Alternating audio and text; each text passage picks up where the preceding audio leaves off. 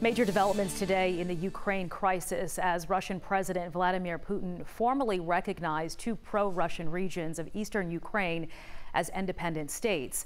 The move is broadly seen as a sharp escalation that could be a precursor to Russia invading Ukraine. Alice Barr has the latest from Washington.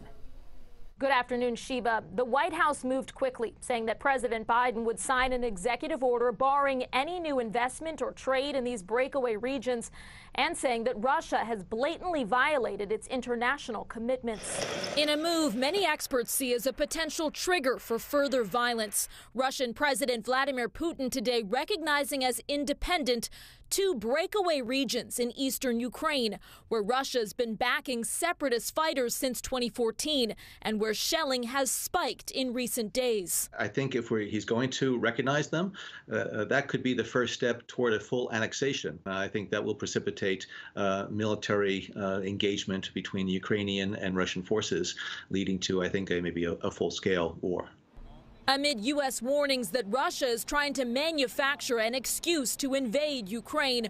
Russian separatists now claim Ukrainian forces have launched an unprovoked attack against them, claims Ukraine and the West sharply deny. President Biden's national security advisors assembling at the White House today after NBC News confirmed that U.S. intelligence shows President Putin has already given the order to invade Ukraine any military operation of the size, scope, and magnitude of what we believe the Russians are planning will be extremely violent. It will cost the lives of Ukrainians and Russians, civilians and military personnel alike.